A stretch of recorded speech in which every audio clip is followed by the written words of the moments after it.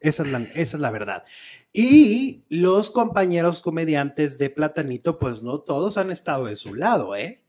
Sí, hay algunos que no están de acuerdo con él. Con el humor negro, porque él justifica esto como humor negro, ¿no?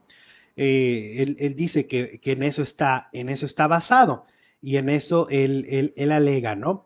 Eh, miren, eh, dice, mm, a ver, espérame que aquí ando buscando exactamente quién lo está defendiendo y de alguna manera tampoco defendiendo, ¿no?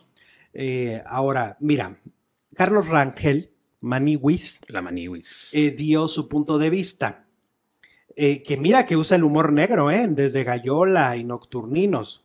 Dice, es una línea muy delgada donde jugamos los comediantes y más si nos dedicamos al humor negro. Yo respeto mucho el trabajo no solo de Platanito, sino de todos mis compañeros comediantes. Sin embargo, tiene que haber un sentido común y lógico y entender que hay temas sensibles que no se pueden tocar tan fácil. Podría pasar de una vez que la riegues, pero dos, tendríamos que aprender de nuestros errores.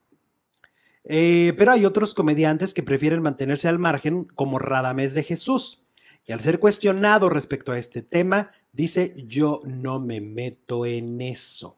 Fue lo que declaró. Em, y eh, Memo Ríos también dejó claro que no le gustaría que nada malo le pase a Platanito, a quien no tiene el gusto de conocer, pero sí es importante que se llame la atención sobre estos casos para evitar que vuelvan a suceder, porque sí afectan a la sociedad. Entonces, ahí está Memo Ríos, Maniwis, Carlos Rangel y Radamés de Jesús en diferentes puntos de vista, ¿no? Franco Escamilla lo defendió y le costó una cosa en redes sociales como no tienen una idea. Bisoño también, ¿no? Que se puede decir que también es comediante, ¿no? Y también le costó. Obras de teatro cómicas. También le costó, le costó mucho. Muchos comentarios. Sí.